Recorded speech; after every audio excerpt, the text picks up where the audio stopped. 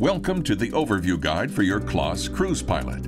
We'll show you how to get the most out of your Cruise Pilot by optimizing its functionality and settings.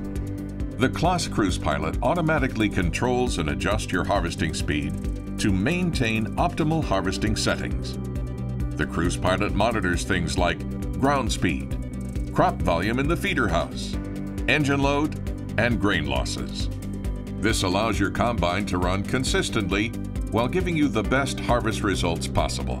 Your Cruise Pilot features three travel modes cruise control, output, and throughput.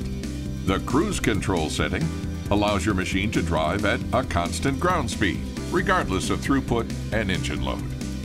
The output setting ensures your machine drives at an adapted ground speed, depending on the determined throughput in the feeder house. The amount of crop fed into your machine will remain the same. Lastly is the throughput travel mode.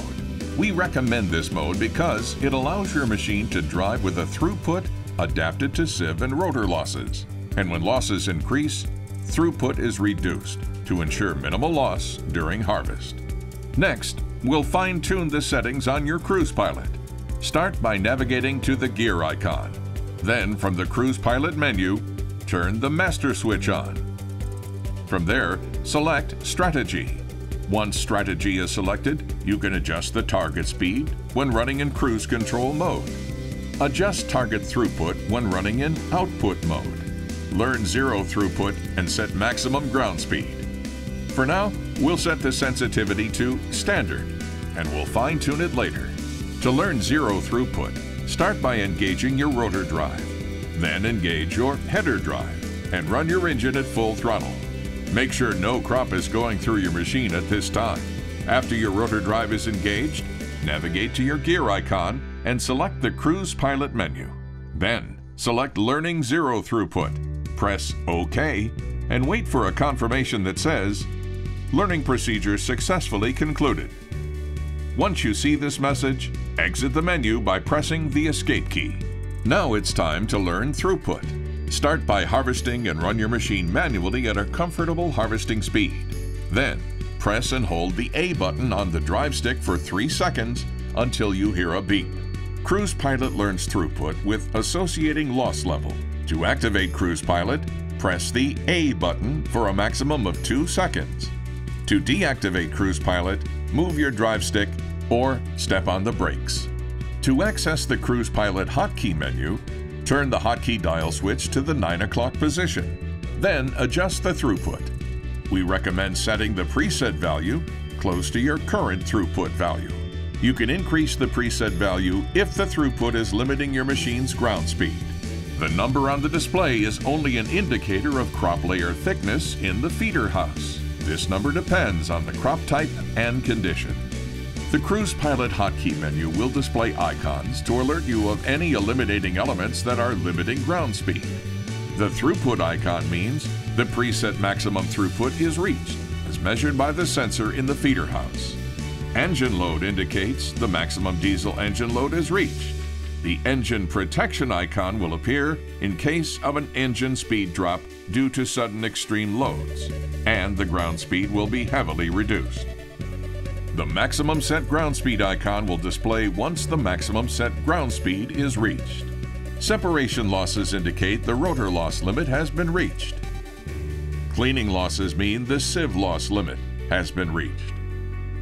And the returns volume symbol indicates the returns volume limit has been reached. The unloading mode icon comes up when the unloading auger is engaged.